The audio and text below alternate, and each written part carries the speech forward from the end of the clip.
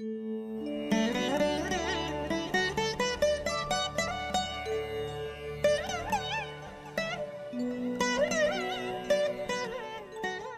அனைவருக்கும் இனிய நல்வாழ்த்துக்கள். எல்லோரும் நன்றாக இருப்பீர்கள்.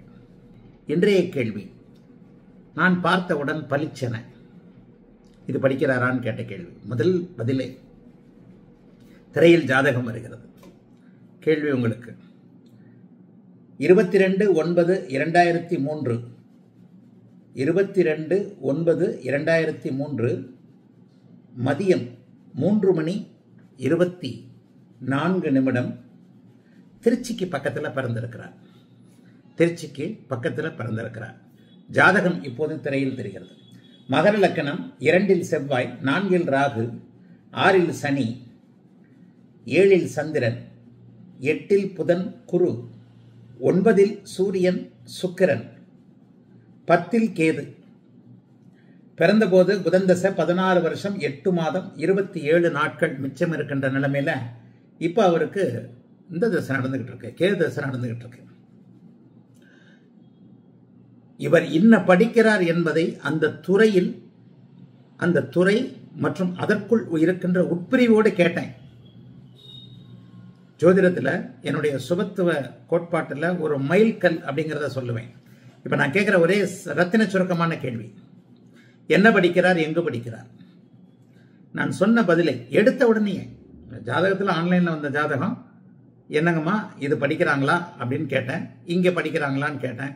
ஆமாங்க ஐயானாங்க சில நேரங்களில் அப்படியே ஜாதகம் ஜாதகம் அப்படியே வந்து அப்படியே இந்தா இந்தா இந்தா எவ்வளோ அழகா நோ கெஸ் பட்டு பட்டு பட்டுன்னு. சில நேரங்களில் தான் குழப்பம். இதற்கடுத்து கொஞ்சம் குழப்பமான ஒரு இதை போடுறேன்.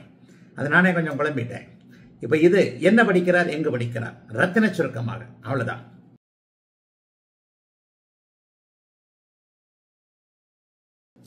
நம்முடைய உச்சனுடைய சீரீஸ் நம்முடைய உச்சனுடைய சீரீஸில் சூரியன் சந்திரன் செவ்வாயை போட்டாச்சு. அடுத்து புதன் தசை. சூரியன் பாதி சுபர் பாதி அசுபர். சந்திரன் ஒளிகளுக்கு ஏற்ப தேய்பிரை வளர்பிறை நிலைகளுக்கு ஏற்ப சுபர் அசுபர் செவ்வா முக்கால் பாவர். அவர் எப்படிப்பட்ட சூழ்நிலையிலும் ஒரு மாதிரியா இருக்கக்கூடியவர்னு போட்டாச்சு. ஆனா இங்க புதன் கட்டுக்கு உட்பட்ட சுபர்னு சொல்லுவேன். கட்டுக்கு உட்பட்ட சுவர். அப்ப அந்த கட்டுக்கு உட்பட்ட சுவர் என்கின்ற இந்த புதன் நிபந்தனைகளுக்குட்பட்டு நல்லவராக இருக்கும் பொழுது நல்லவர்கள் சுவர்களோடு இருக்கும் பொழுது சுவராகவும் பாபர்களோடு இருக்கும் பொழுது பாவராகவும் செயல்படக்கூடியவர் இந்த புதன். பாபரா சுவரா அப்படிங்கிறத மட்டும் நீங்க ஒரு நிலையில அதை கெஸ் பண்ணி பார்த்துக்கணும். அப்பதான் மற்றபடி புதன் எங்கேயும் இருக்கலாம். சுபராக இருக்கும் பொழுது குரு சுக்கரனை போல எந்த இடத்துலையும் எந்த லக்னத்திற்கும் பெரும்பாலும் நல்லது செய்வார். எல்லா கிரகங்களையும் இப்ப குருவும் சுக்கரனும் எங்கே வேணாலும் இருக்கலாம்னு சொல்லுவேன். இருக்கும் இடத்தை வளப்படுத்தக்கூடியவர்கள் குரு எங்கேயும் இருக்கலாம். சனி எங்கேயும் இருக்கக்கூடாது. பாயிண்ட் வந்துருச்சா சில வாசங்களை நெத்தி அடித்த மாதிரி பொறிக்கணும். நம்மளில் கூட மூன்றாம் பாலினம் இருக்கிறோம்ல ஆம்பளையும் இருக்குது பொம்பளையும் இருக்கு. ஆம்பளைக்கும் பொம்பளைக்கும் நடுவில் ஒன்று இருக்குல்ல? அப்படித்தான் ஜோசியம்.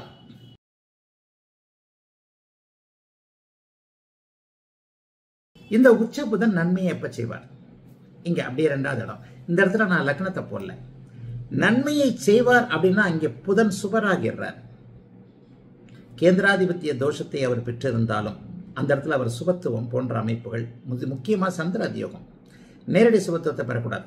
கேந்திராதிபத்திய தோஷம் உள்ளிட்ட எந்த ஒரு தோஷத்திற்கும் உண்மையில் கேந்திர அதிபதி கேந்திராதிபதி குரு சுக்கரன் போன்றவர்களுடைய தொடர்புகளை கூடுதலாக பெறும் பொழுது அவரே இயல்பாக இருக்கும்போது கேந்திராதிபத்திய தோஷத்தை வலுத்து செய்வார். அதே கேந்திராதிபதி சந்திர அதியோகத்தில் இருந்தால் அந்த கேந்திராதிபத்திய தோஷம் செயல்படாது. சந்திரன் அம்மா சந்திர அதியோகம் சகல தோஷங்களுக்கும் சுபர்களுக்கு மட்டும் நிவர்த்தி. மற்றவங்களுக்கு கிடையாது. சனி இப்படி இருக்கிறார். அந்த சந்திர கிடையாதுங்க. செவ்வாய்க்கு கூட நேரடியாக அவர் மங்கள யோகத்தில் தான் வரணும். அவரோடு இணையணும் அவரை நேருக்கு நேராக பார்க்கணும். குரு சுக்கரனுக்கு மட்டும் புதனுக்கு மட்டும் குரு சுக்கர புதனுக்கு மட்டும் சந்திர அதியோகம் எந்த இடத்துலையும் கேந்திர ஆதிபத்திய தோஷத்திற்கும் நிவர்த்தி. பாதகாதிபதிய தோஷத்திற்கும் நிவர்த்தி. பாதகாதிபதி கேந்திராதிபதின்றது நான் அடிக்கடி பேசுறதில்லை. ஏன்னா அது லட்சத்தில் ஒன்று போன்ற ஒரு மிக நுணுக்கமான சூழ்நிலைகளில் இருக்கக்கூடிய ஒன்று.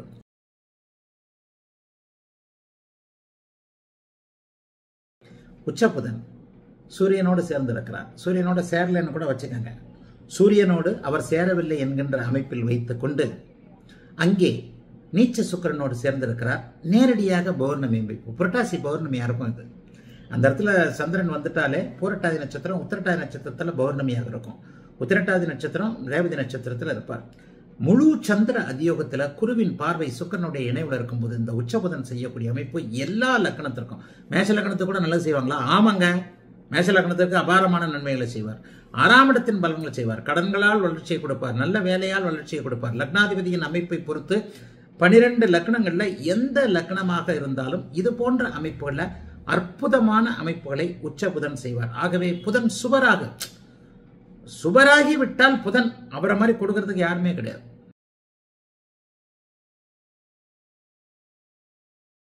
உச்ச செவ்வாயில கேட்ட அந்த மூன்று வயது குழந்தை அந்த குழந்தையோட ஜாதகம் இப்போ வந்துருச்சு.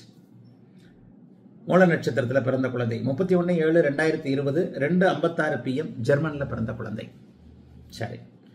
தனுசு லக் இது துலா லக்னம் சந்திரன் குரு கேது மூன்றில் நாலில் சனி ஆறில் செவ்வாய் எட்டில் சுக்கரன் புதன் ராகு ஒம்போதில் பத்தில் சூரியன்.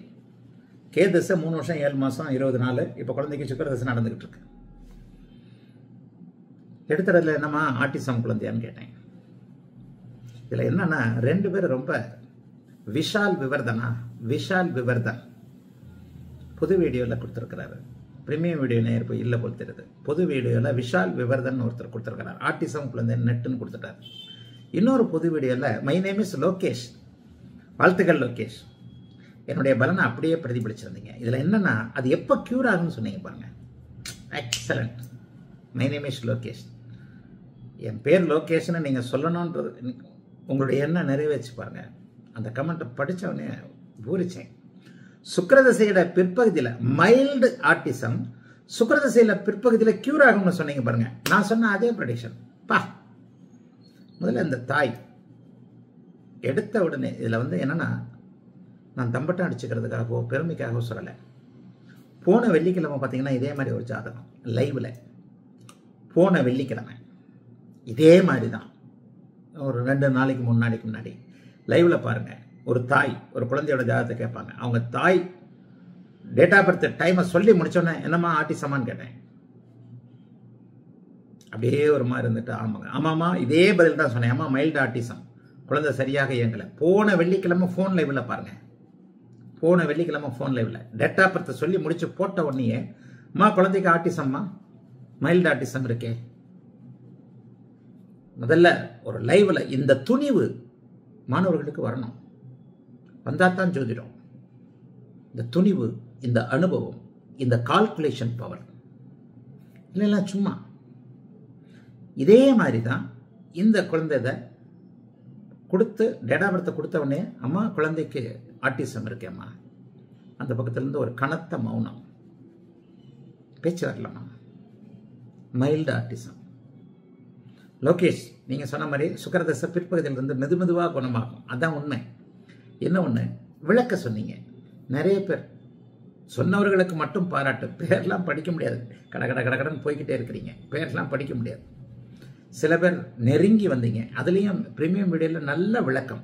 என்ன விளக்கம்? அதில் ஒருத்தர் சூரியன் பார்த்த சனியின் பார்வைன்னு சொன்னீங்க பாருங்க. எக்ஸலண்ட் இது பாருங்க சில பேர் காரகத்துவத்தில் மிஸ் மிஸ் ஆகுறீங்க. இதில் மிஸ் பண்ணுறீங்க என்ன மிஸ் பண்ணுறீங்கன்னா சந்திரன் குரு சேர்க்கை. அம்மாவுக்கு அப்படி ஆயிடுச்சு இப்படி ஆயிடுச்சு ஐயோ ஐயா ஆதிபத்தியங்களை முதல் கவனிங்க. காரகத்துவங்களை முதல் கவனிங்க. இங்கே சந்திரன் நல்லா இருக்கணும். காரக ரீதியாக சந்திரன் குருவோடு சேர்ந்து இருக்கிறார் தாய் அற்புதமாக இருப்பார். குழந்தைக்கு தான் ஆட்டிசம். ஒன்றும் இல்லைங்க. லக்னாதிபதி எட்டில் மறைவு. உடனே ஒருத்தர் குழந்தை மரணம்னு கொடுக்குறார். ஐயா சுக்கரன் எட்டில் இருந்தால் ஆயுள் ஐயா. சுபர் எட்டில் இருக்கிறார். ஆயுள் இருக்கும். பாவர் எட்டில் சனியை தவிர்த்து மற்றவர்கள் இருந்தால் பாவத்துவம் இருந்தால் தான் ஆயுள் இல்லை. குழந்தை ஆயுளோடு இருக்கும். லோகேஷ் சொன்ன மாதிரி ச சுக்கரதசை பிற்பகுதியில் லோகேஷ் எத்தனை வயசுன்னு தெரியல. நீங்கள் எத்தனை வயசுன்னு தெரியல. ஆனால் கரெக்டாக என்னுடைய வார்த்தைகளை அப்படியே ரெண்டே வரியில் கொடுத்துருந்தீங்க. மைல்டு ஆர்டிசம் சுக்கரதசை பிற்பகுதியில் குணமாகும் மெதுவாக குணமாகும். சூப்பர் ப்ரெடிஷன் ஏன் ஆர்டிசம் நீ விளக்கமும் சொல்லேன்னு சொல்லியிருக்கிறீங்க. நீங்களே பாதி பேர் விளக்கம் கொடுத்துட்டீங்க. நான் நான் சொன்ன அதே அதே விளக்கம். நானும் ப்ரடிக்ஷன் அப்படி தான் சொல்கிறேன் லக்னாதிபதி எட்டில் மறைந்து லக்னத்திற்கு சனி செவ்வாய் பார்வை ஒரே நேரத்தில் அமைந்து. அந்த சனி அதில் ஒருவர் கொடுத்துருக்கிறீங்க. சூரியனின் பார்வை வாங்கிய சனி. எக்ஸலண்ட் சந்தோஷமாக இருக்கு.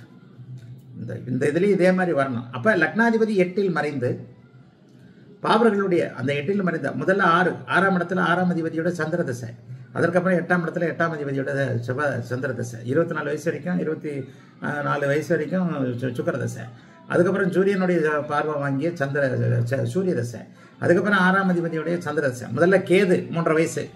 அப்புறம் சுக்கரன் இருபத்தி மூன்றரை வயசு வரைக்கும். எட்டில் இருக்குது இது ஆறாம் அதிபதியோட இருக்குது பாபத்துவ அமைப்புகளாக தொடர்ந்து வருது பாருங்கள் அதுக்கப்புறம் சூரியன் வந்து சனியின் பார்வையில் இருக்கக்கூடிய முப்பது வயசு வரைக்கும். அதுக்கப்புறம் சந்திரன் ஆறாம் அதிபதியோட நாற்பது வயசு வரைக்கும். இப்படியே பாவத்துவமான திசைகள் வரும்போது அந்த ஆட்டிசம்ன்றதை நீங்கள் கன்ஃபார்ம் பண்ண முடியும். நெத்தி போட்டு லட்சம் மாதிரி அடிக்கலாம். ஒன்றுமே பேச தேவையில்லை. அவங்கெல்லாம் சொல்லவே கூடாது. ஆக இந்த அமைப்பில் ஏன் அந்த ஆட்டிசம் அப்படிங்கிறதுக்கு நீங்கள் கொடுத்த விளக்கங்கள் ஓரிருவர் கொடுத்த விளக்கங்கள் அப்படியே பொருந்தி வந்துச்சு? மற்றவங்க தாங்க எங்கெங்கேயோ போயிட்டீங்க. அப்பா இப்படி அம்மா இப்படி டிவோர்ஸுக்கு வருஷத்து வந்துடுவீங்க வரணும். ஆக லக்னாதிபதியை பாபத்துவ சனி லக்னத்தை பாபத்துவ சனி செவ்வாய் இருவரும் பார்த்து ராசி கெட்டு. லக்னாதிபதி எட்டில் மறைந்து. ராசி கெட்டுனா சந்திரன் கேது சந்திரனும் கேதுவும் சேரக்கூடாது. குரு கேது சேரலாம் சந்திரனும் கேதுவும் சேரக்கூடாது. ராசி கெட்டு. சுக்கிரன் லக்னாதிபதி எட்டில் மறைந்து. அடுத்தடுத்த பாவத்துவ திசைகள் ஆறாம் அதிபதியுடைய இணைவு பெற்ற திசையில பிறந்து அடுத்து எட்டாம் அதிபதியுடைய திசையில வாழப்போகின்ற இந்த குழந்தை மைல்டு ஆட்டிசமாக ஆனா சுக்கரதசை பிற்பகுதியில் கொஞ்சம் கொஞ்சமாக ரெக்கார்ட் ஆகும். இதெல்லாம் இல்லை உண்மைதான். முழு ஆட்டிசம்ன்றதுக்கும் இதுக்கு வித்தியாசம் இருக்கிறது. ஆகவே அன்பு மாணவர்களே ஓரளவுக்கு எனக்கு திருப்தி தான்.